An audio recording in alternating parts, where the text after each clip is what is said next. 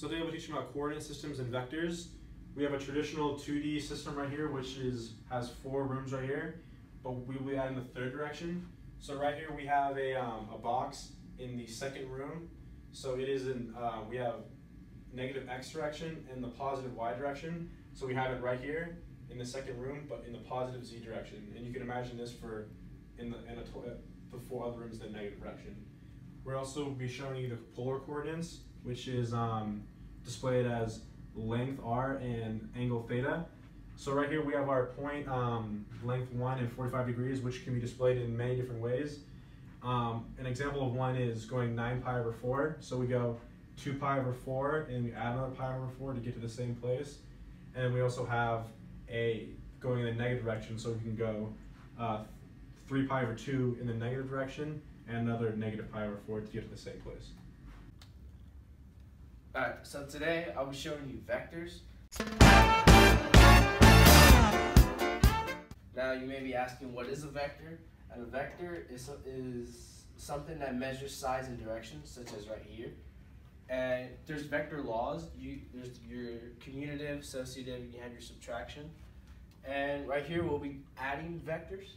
So you graph your A and you graph your B.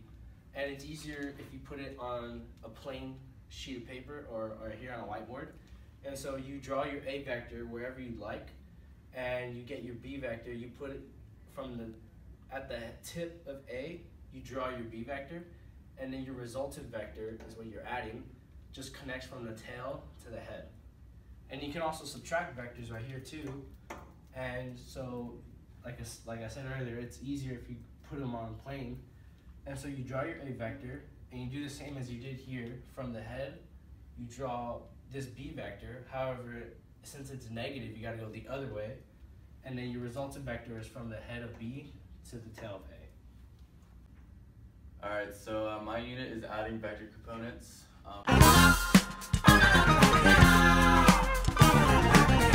we have our three vectors right here, which I plotted on the graph right there. Our goal is to find d vector, the angle and length of that.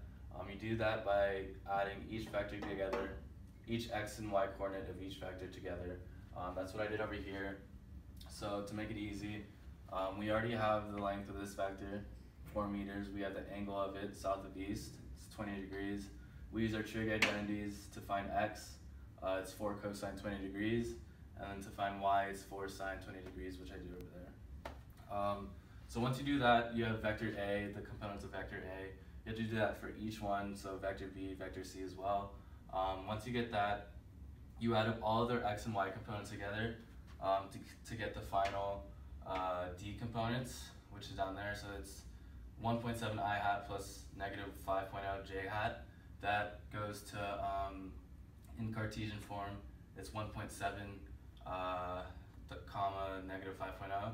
So once you get those two coordinates, uh, for the distance, you plug in the distance formula um, to get the length of that uh, vector d.